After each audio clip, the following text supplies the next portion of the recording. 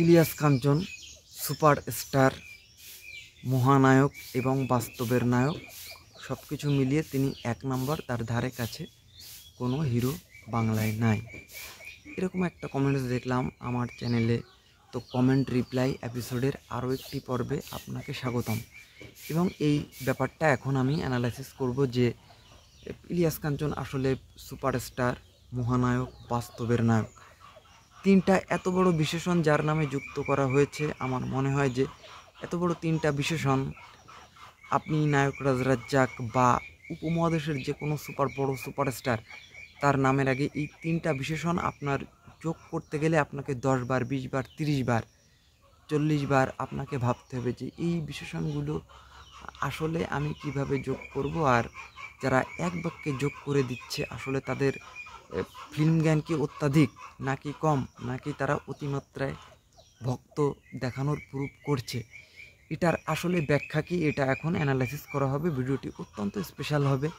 ভিডিওটি স্টার্ট করার আগে আপনাদের কাছে ছোট্ট একটা অনুরোধ। আপনারা যদি ফিল্ম স্পাই চ্যানেলটিতে নতুন হয়ে থাকেন, তো ডেফিনেটলি সাবস্ক্রাইব করবেন বেলাইকনে ক্লিক করবেন লাইক করবেন শেয়ার করবেন অ্যান্ড কমেন্টস করে জানিয়ে দেবেন। আপনাদের মূল্যবান মতামতটি আমি অপেক্ষা রইলাম। আপনাদের মূল্যবান কমেন্টটি দেখেন। ইলিয়াস কাঞ্চন নিঃসন্দেহে বড় superstar. He is biggest superstar in Bengali film market তার সময় ফিফটিন হান্ড্রেড পনেরোশো হল ছিল এবং তিনি বেদের মেয়ে জ্যোৎস্নার মতো বড় ব্লকবাস্টার হিট সিনেমা দিয়েছেন। তিনি বেনাম বাচ্চার মতো ব্লকবাস্টার ফিল্ম দিয়েছেন। তিনি চাকরের মতো ব্লকবাস্টার ফিল্ম দিয়েছেন। ভেজা চোখের মতো অল টাইম ব্লকবাস্টার ফিল্ম দিয়েছেন। যে ফিল্মগুলো আসলে ক্লাসি হোক বা কমার্শিয়ালি একটা ইন্ডাস্ট্রিকে ধরে রাখার জন্য অনেক গুরুত্বপূর্ণ একটা ফ্যাক্টর বাট তিনি আসলে এক নম্বর সুপারস্টার বা তার থেকে বড় সুপারস্টার বা জনপ্রিয় কেউ নিয়ে আসলে এই ব্যাপারগুলো যখন আপনি বলবেন, তখন বিতর্কের সৃষ্টি হবে। নিঃসন্দেহে তিনি সুপারস্টার তিনি তার সময় নাম্বার ওয়ান ছিলেন। কিন্তু তার মানে ব্যাপারটা এই নয় যে আর কেউ সুপারস্টার নয় বা আর কেউ কখনো নাম্বার ওয়ান হয়নি। এদেশে অনেক হিরো কালের বিবর্তনে নাম্বার ওয়ান হয়েছে। ইনফ্যাক্ট শাকিব খান যে রেকর্ডের দিকে যাচ্ছে, তাকে হয়তো কেউ ছুতে পারবে না। সেটা পারিশ্রমিক হোক, সেটা বেশি দিন স্টারডাম ধরে রাখা, দিয়ে হোক বা সিনেমার বাজেট হোক বা বেশি নায়িকার নিয়ে কাজ করা হোক, শাকিব খান যে পর্যায়ে চলে যাচ্ছে, হয়তো তাকে কেউ ধরে, ধরতে যেতে পারবে না। তার মানে কি আমরা নায়করাজ রাজ্জাকের রাজ্জাককে তার পিছনে ফেলে দেবো। দেখেন, এটা অনেক রকম হিসাব নিকাশ আছে। তো একমাত্র সুপারস্টার তিনি আসলে ওরকম নয়।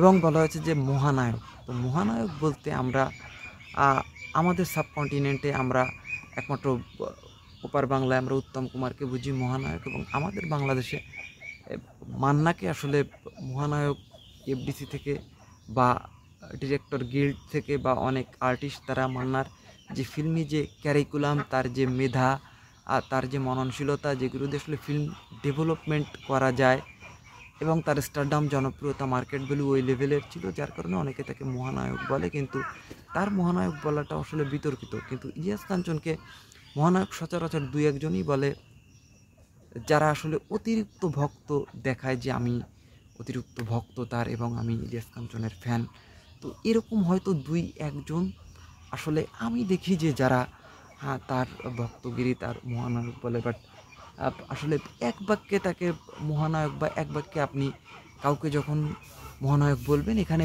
বিতর্ক বিতর্ক আসবে, এখানে অনেক রকমের ক্যালকুলেশন এখানে অনেক রকমের হিসাব নিকাশ কিন্তু চলে আসবে। এবং আপনি যখন বলেছেন যে বাস্তবের মহানায়ক হ্যাঁ এই ব্যাপারে হান্ড্রেড পারসেন্ট ধরেন আমি মিল হলাম বা এ ব্যাপারে অনেকেই মিল হবে যে দেখা যায় বাস্তবে যে নিরাপদ সড়ক চাই যে আন্দোলনটা, যেটা আসলে মানবতার কথা বলে, যেটা দেশের কথা বলে এবং নিরালস যে আন্দোলনটা এমনভাবে রান করছে আসলে এটা দেশের জন্য দরকার আছে এবং কতগুলো মানুষকে একসাথে বেঁধে এই যে নিরাপদ সড়ক চাই যে আন্দোলনটা হ্যাঁ আমাদের অ্যাক্সিডেন্ট হচ্ছে বিভিন্ন জায়গায়, বিভিন্ন জেলায় জেলায়, থানা পর্যায়ে এবং এইটা আসলে মিনিমাইজ করার জন্য তার যে উদ্যোগ নাইনটিন নাইনটি থ্রি থেকে after his wife diet period থেকে তিনি যেভাবে এই ব্যাপারটা নিজের কাঁধে তুলে একা, হা, সার্বিক তত্ত্বাবধানে ব্যাপারটা এগিয়ে চলেছেন, তো তাকে বাস্তবের মহানায়ক বলা যায়। হ্যাঁ? তিনি ডেফিনেটলি বাস্তবের মহানায়ক। এবং আসলে সব কিছু মিলিয়ে তিনি নাম্বার ওয়ান এটাও আসলে বিতর্কিত ব্যাপার। তিনি বাস্তবের মহানায়ক আপনি বলতে পারেন। বাট এই যে সুপারস্টার একমাত্র বাস্তবের মহানায়ক বা নাম্বার ওয়ান বা অনেকে মহানায়ক দু একজন হয়তো বলে। তো সার্বিক দিক বিচার বিশ্লেষণ করে আমার এই কমেন্ট রিপ্লাইটা ছিল।